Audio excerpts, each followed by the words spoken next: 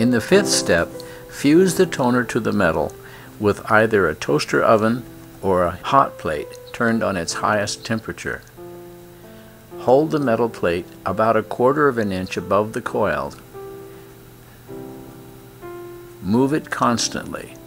Don't allow the plate to touch the coil or it will heat too much in one spot.